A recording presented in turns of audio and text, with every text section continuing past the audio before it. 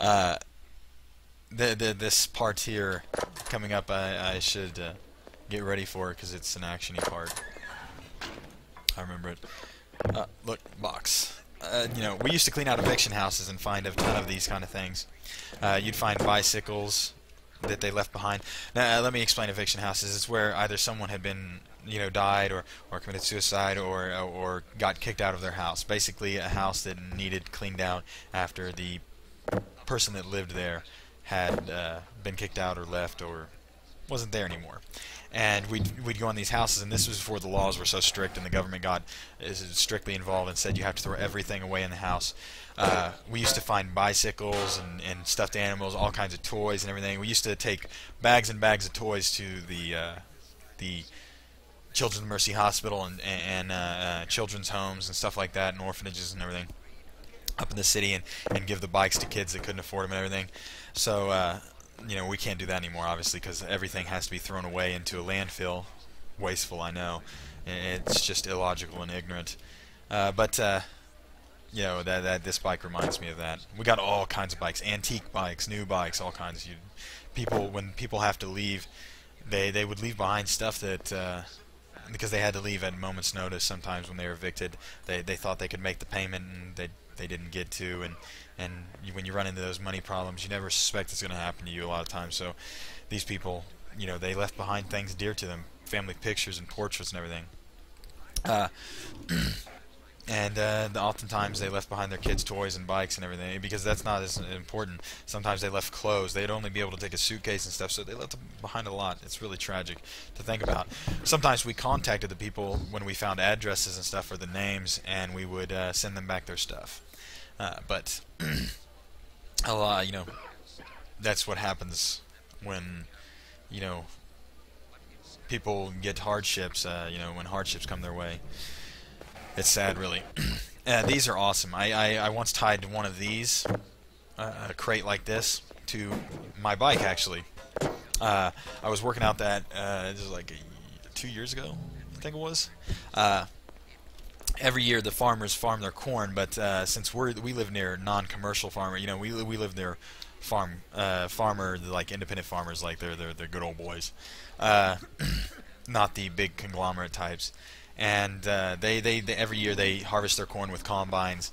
And uh, the reason I'm staying here, I'll go, I'll move on after a second.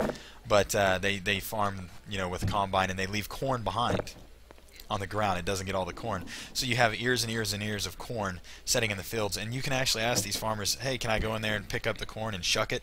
And by shuck it, the word shuck means you basically uh, knock the kernels off the cob, uh, and then you can feed them to your animals and I tied this on the front of my bar, uh, bike bar handles right there, uh, handlebars and uh, bar handles, handlebars, and uh, I would fill it with corn. I, you know, I was uh, I was running and I decided to bike instead, and uh, every time I biked, I would fill it with corn and bike back. So that was pretty cool. Free animal food and stuff.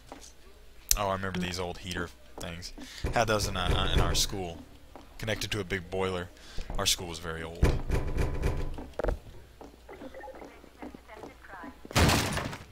What's this a boot? uh, you can hear him. They're beating him up. I think they killed him.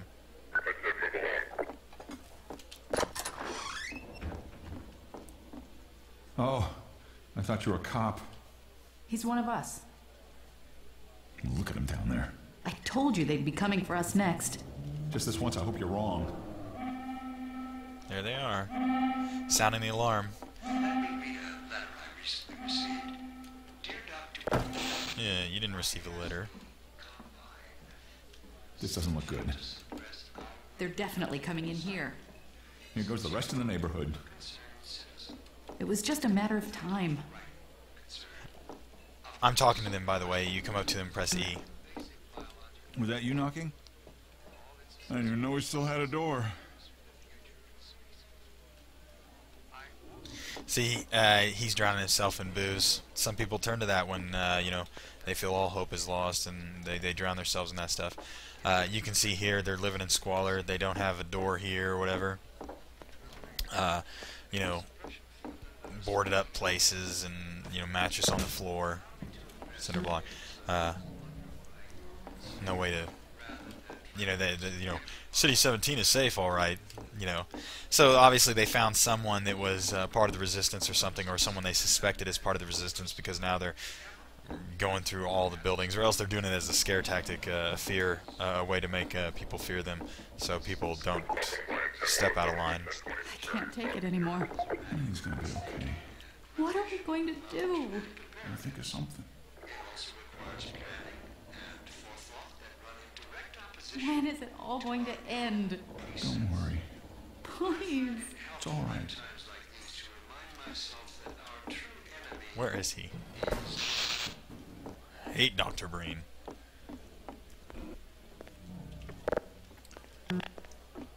You can see, you know, he's trying to condole, uh, you know, he's kind of trying to console her, uh, but really, what can he do?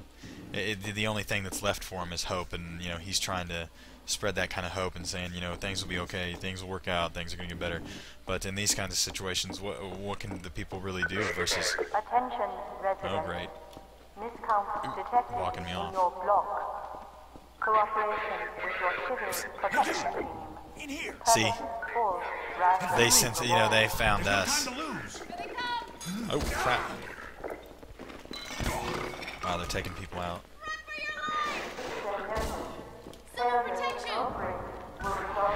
They they they found us, so that now all these people are, you know, they're they're coming to look for these people, and Get in here, quick. Keep moving. Head for the roof. look at this guy sacrificing himself for us.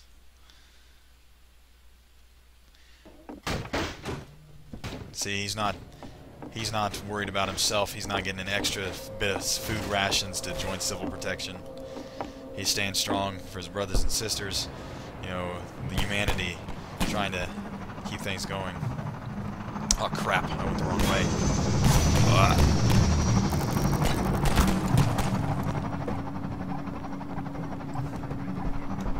Just like them, you know that that that lady back there saying, you know, everybody run, and she tried to hold, you know, stay in the doorway. People like that have sacrificed themselves, so, you know, throughout time to help uh, the, you know, you could call it the the good people.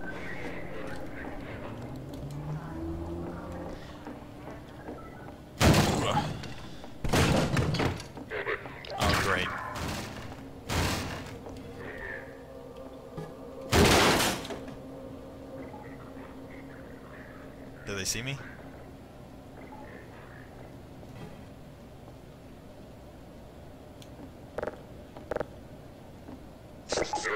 Oh, there they see me. Oof. Ha, no, you don't. Yeah, prepare yourself. Alyx Vance.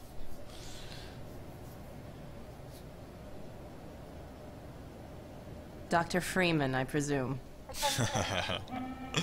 I better hurry. The Combine can be slow to wake, but once they're up, you don't want to get in their way. Look at her, she laid them all out. One. Kleiner said you'd be coming this way. I don't think it occurred to him that you might not have a map. One, two, three, four, five, six. She put down six of these. Wait, is that an extra one? No, six. She put down six of them, man. Don't mess with Alyx over here. I'm Alyx Vance.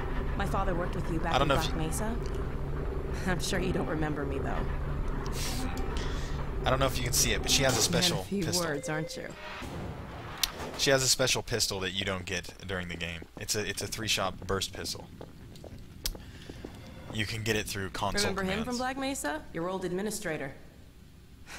don't get my dad started on Dr. Breen. Ugh. Through here. Ah. We used to get uh, working salvage. You get a lot of these in old 55-gallon drums.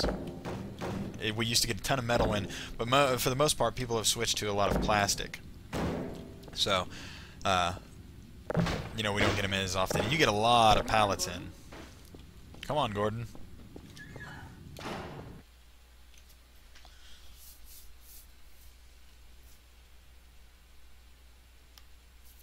Popping my knuckles, sorry.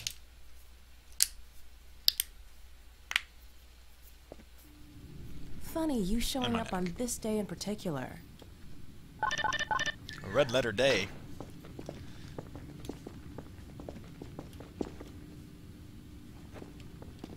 We've been helping people escape the city on foot. It's a dangerous route to my father's lab, through the old canals. Today, we're finally on the verge of having a better way. Here, let me buy you a drink.